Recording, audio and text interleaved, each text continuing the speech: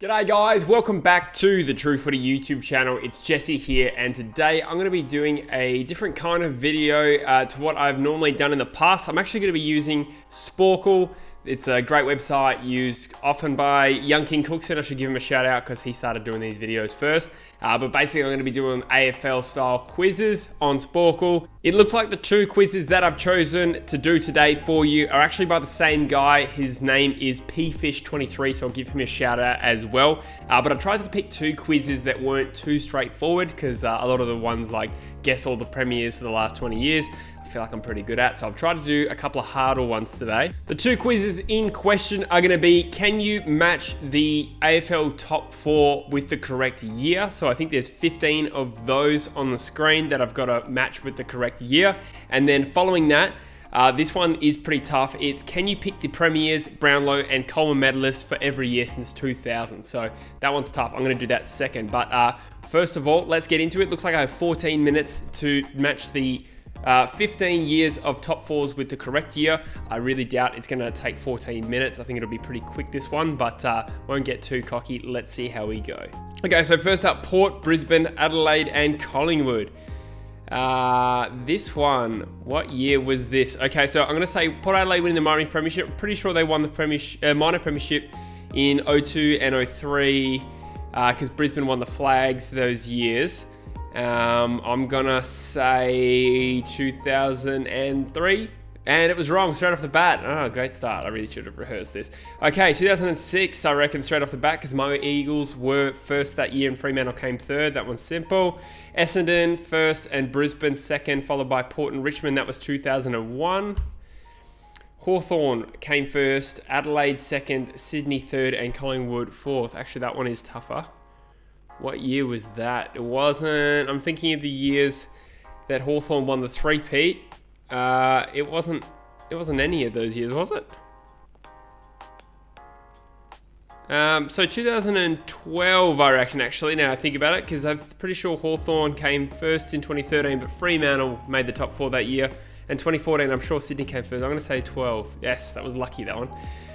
All right, so I did mention before, Port Adelaide won the minor premiership in the years where Brisbane won the flag. So I'm going to say that was 02. Oh my God, what was I doing? Pressed the wrong button. It was 03. That was really dumb. Anyway, uh, Geelong, Port Adelaide, West Coast Kangaroos was definitely 07. I really hope it lets me have another crack at those ones because I, uh, I've just literally pressed the wrong button on that one. St Kilda first, Geelong second, Bulldogs third. So St Kilda came first in 09 and 10. I'm going to say this was 09. Hawthorn first and Geelong on the uh, uh, Geelong second and Hawthorn sorry Hawthorn first Geelong second Fremantle third. That was the 13 because uh, that was Hawthorn and Fremantle in the grand final. Collingwood Geelong Hawthorn West Coast that was 2011 that was the year the Eagles came from Wooden Spooners to finish fourth. Port Brisbane St Kilda Geelong. I think I hit oh actually what year was this? I was 04 surely. Yes good uh, Adelaide, West Coast, Sydney, and St Kilda was 2005. We lost in the last round against Adelaide to uh, to lose top spot. Collingwood first, Geelong, St Kilda Bulldogs. I'm going to say 2010. Collingwood were the best team by far that year. Uh, Essendon, Carlton, Melbourne, Kangaroos. Was an Essendon Melbourne grand final in 2000, so that's a safe bet. Sydney came first in 2014, so I'm starting to roll through these. Geelong and Hawthorn, the first two teams in 08. So I think it was just 02 and 03 I got mixed up and uh, I wasn't thinking properly so I'll just cop that as my excuse. So 13 out of 15, I'm actually pretty disappointed with that to be honest. I was pretty cocky going into this. I thought I was going to get them all right, but alas, I'm not perfect. All right, thank you P-Fish for that particular quiz. Let's have, uh, yeah, I did that in about what? Yeah, less than three minutes, so um, I'm a bit of a whiz. Yeah, not really. Uh, let's have a look at the second one. This is the harder quiz by far. Um, I did have a brief look at exactly how it works with the format, so we'll open it up. You Basically, just got to pick one from each, and if they're all four are correct, then you get it right. So let's start with 2019 because it's the easiest. So uh, 2019, uh, Richmond obviously won the flag, and the Brownlow medalist was Nat Fyfe, and Jeremy Cameron won the Coleman. And that's that fourth list over here. So boom, Okay, so I've got it all right and it's all gone green. Um, and now let's go back to 2018 where West Coast won the flag. Tom Mitchell obviously won that, uh, won the Brownlow, and I think was it Riewoldt won the Coleman. So boom, two from two. 2017 was Richmond again. Dusty won the Brownlow. I think it's still the record for most votes. I'm pretty sure this was the year Josh Kennedy missed five games and was still leading the Coleman. And then the last game of the year, Lance Franklin kicked, was it eight or 10? I can't remember if it was 8 or 10, but he basically won the Coleman in the last round against Carlton. So, Buddy Franklin, boom. All right, this is where it gets tough because I'm pretty good with Premiers and Brownlows. I've pretty much named them all, but uh, the Coleman is where it's going to get me. So 2016. Oh, this should be easy. I'm pretty sure that Kennedy won the Coleman these years. So the Bulldogs won that year. Brownlow medalist was Paddy Dangerfield, and we'll go Josh J. Kennedy. Boom. 2015, Hawthorn beat my beloved Eagles. 2015, Brownlow was Fyfe. And Josh Kennedy again. Okay, now we're really getting into testing territory. 2014, that year, Hawthorn won the flag. They beat Sydney. Matty Priddis won the Brown. Oh, did I just press the wrong button? No. Uh, Matty won the Brownlow. He is there. Coleman's going to be tough. There's a lot of Buddy Franklins on the board. I'm inclined to go in that direction because he... Sydney finished first that year. They didn't win the flag, and I got it right, thank goodness. 2013, Hawthorn beat Fremantle in the grand final. The Brownlow medalist was Gary Ablett Jr. from Gold Coast. And the Coleman medal medal's tough. So we can rule out Matty Lloyd. So you got Buddy Franklin, and Jarryd Roughead. I genuinely do not remember Jarryd Roughead winning a Coleman medal. Uh, I guess Jack Riewoldt could have won it. Um, I'm going to say Lance Franklin again. No, wrong. Who was it? So go back to Hawthorn. Gary Ablett Jr. Was it Roughead? Hey, it was Roughead. Okay, there you go. That makes sense. Hawthorn won the flag that year. 2012 was the Sydney with the Premiers. They beat Hawthorn in the grand final.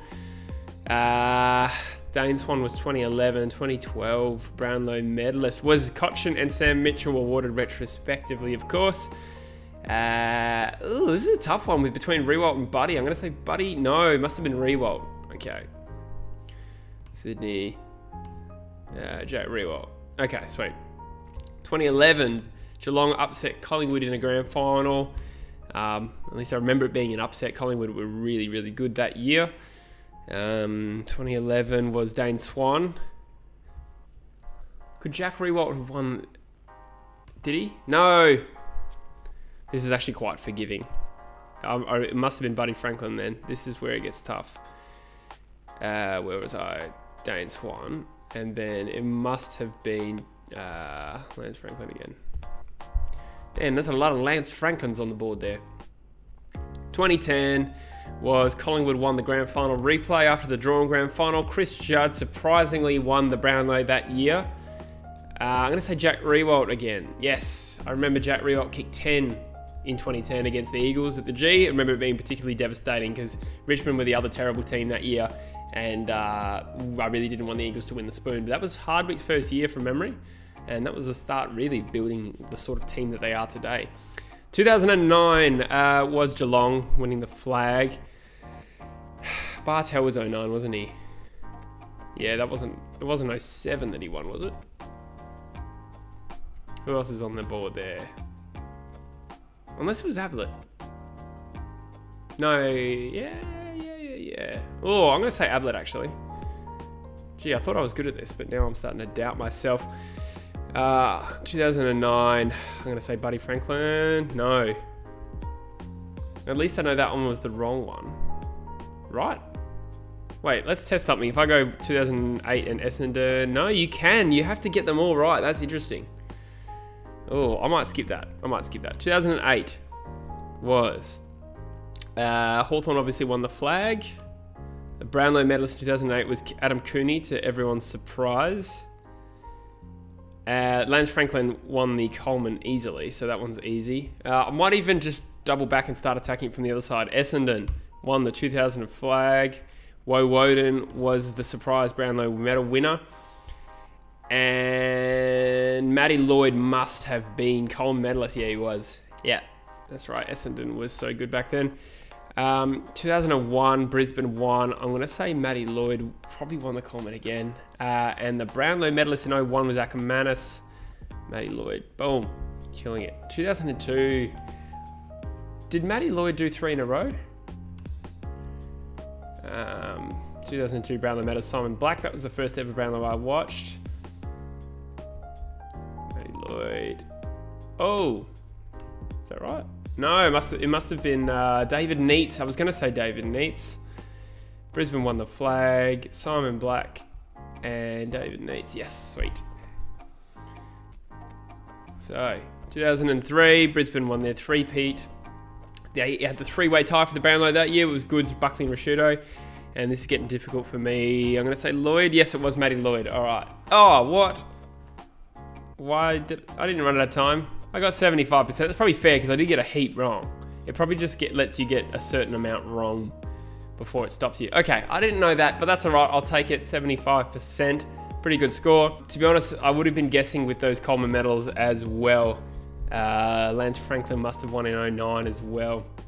Um, oh, no, it was Brendan Fevola. There you go. Interesting. Oh, well, you learn a little bit uh, every time you do one of these. So that was interesting. So yeah, thank you for uh, creating that P-Fish23. That was actually really fun. Um, if you like these videos, guys, let me know in the comments because I want to do more of this stuff, especially over the summer. Um, there's a little bit of time before we actually get some football. So I, I find this stuff really fun. Um, and uh, yeah, let me know what you think. Also, guys, if you're new to the True Footy YouTube channel, I'd really appreciate you hitting subscribe. And in particular, if there's any quizzes or tier makers or anything like that you want me to do, uh, make sure you hit me in those DMs or in the comment section. Obviously, won't be just doing these videos. I'm going to be doing some more videos. I want to go back to those team-based videos I did last year with the music in the background and stuff like that. And of course, there is going to be even more True Footy podcasts going as the summer progresses, and we're going to get a few special guests on very soon soon. But anyway, guys, thanks for watching. I'll see you all very soon somewhere on YouTube. Cheers.